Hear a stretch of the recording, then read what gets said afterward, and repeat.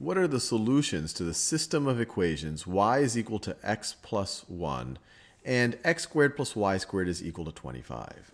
So let's first just visualize what we're trying to do. So let me try to roughly graph these two, these two equations. So my y-axis, this is my x-axis, this is my x-axis. This right over here, x squared plus y squared is equal to 25.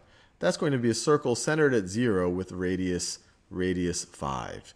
You don't have to know that to solve this problem, but it helps to visualize it. So if this is 5, this is 5, 5, 5, this right over here is negative 5, this right over here is negative 5. This equation would be represented by this set of points, or this is a set of points that satisfy this equation. So let me, there you go, I'm trying to draw it as close to a perfect circle as I can. And then y equals x plus 1 y equals x plus 1 is a line of slope 1 with a 1 y-intercept. So this is 1, 2, 3, 4. Y-intercept is there. It has a slope of 1. So it looks something, looks something like this. So when we're looking for the solutions, we're looking for the points that satisfy both. The points that satisfy both are the points that sit on both. So it's that point. Let me do it in green. It's this point, and it's this point right over here. So how do we actually figure that out? Well, the easiest way is to, well, sometimes the easiest way is to substitute one of these constraints into the other constraint.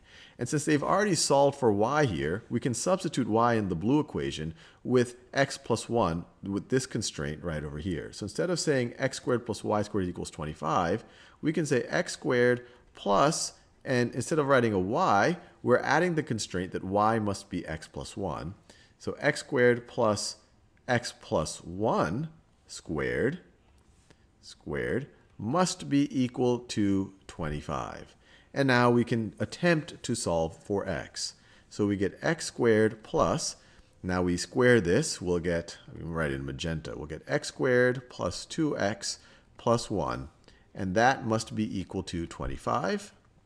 We have 2x squared, now I'm just combining these two terms, 2x squared plus 2x plus 1 is equal to 25.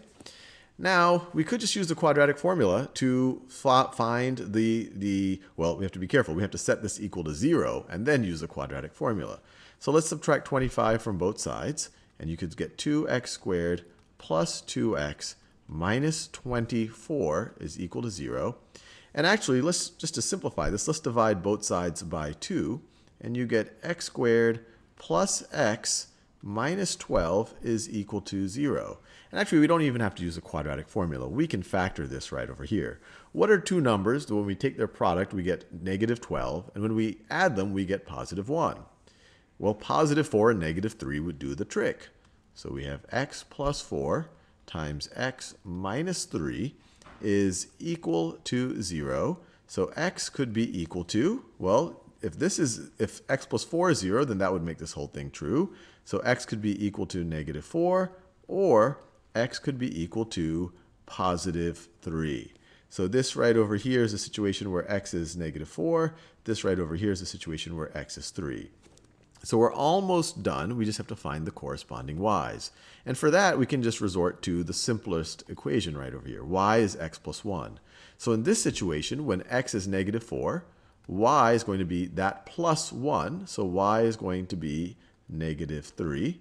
y is going to be negative 3. This is the point negative 4 comma negative 3.